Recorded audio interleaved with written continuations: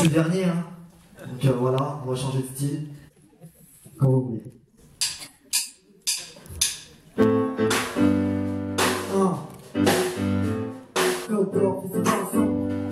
Ok, hey